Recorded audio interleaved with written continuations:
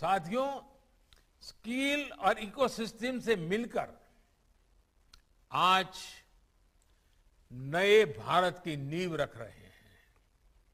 Startup India की सफलता हमारे सामने है। आज भारत के स्टार्टअप्स पूरी दुनिया में पहचान बना रहे हैं। हमारे यूनिकॉर्न्स की संख्या अब रिकॉर्ड बना रही है। कोरोना के कठिन समय के बाद हमारी अर्थव्यवस्था ने जितनी तेज़ी से वापसी की है, उससे पूरा विश्व भारत को लेकर आशा से भरा हुआ है।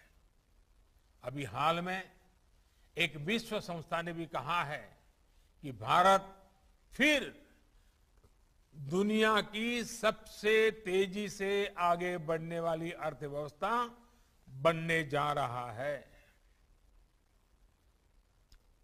मुझे विश्वास है, गुजरात राष्ट्र निर्माण के अपने प्रयासों में हमेशा की तरह सर्वश्रेष्ठ रहेगा, सर्वश्रेष्ठ करेगा। अब तो भूपेंद्र भाई पटेल जी और उनकी पूरी टीम एक नई ऊर्जा के साथ गुजरात की प्रगति के इस मिशन में जुट गए हैं।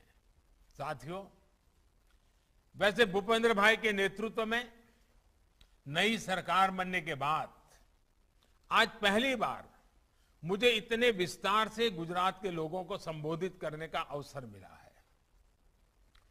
एक साथी कार्यकर्ता के रूप में भूपेंद्र भाई से मेरा परिचय 25 वर्ष से भी ज़्यादा का है।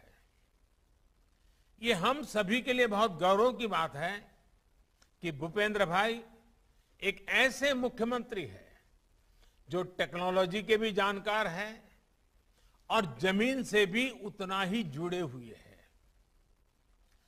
अलग अलग स्तर पर काम करने का उनका अनुभव गुजरात के विकास में बहुत काम आने वाला है।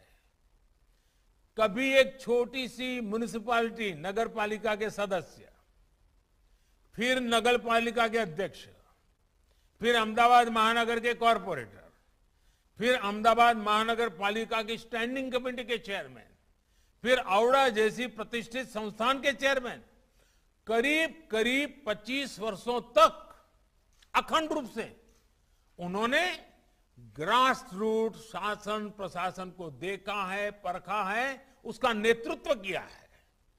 मुझे खुशी है कि आज ऐसे अनुभवी ऐसे अनुभवी व्यक्ति गुजरात की विकास यात्रा को तेज गति से आगे बढ़ाने के लिए गुजरात का नेतृत्व कर रहे हैं।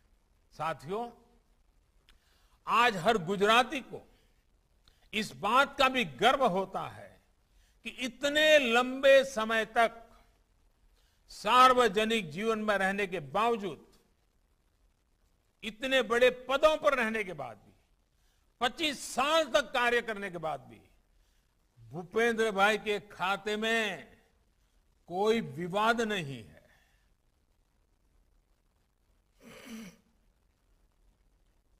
भूपेंद्र भाई बहुत ही कम बोलते हैं।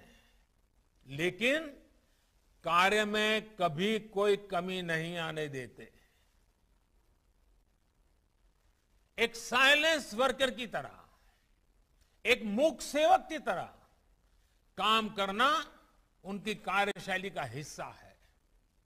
बहुत कम ही लोगों को यह भी पता होगा कि भूपेंद्र भाई का परिवार हमेशा से आध्यात्म के प्रति समर्पित रहा। उनके पिताजी आध्यात्मिक क्षेत्र से जुड़े रहे हैं। मेरा विश्वास है, ऐसे उत्तम संस्कार वाले भूपेंद्र भाई के नेतृत्व में गुजरात चौतरफा विकास करेगा।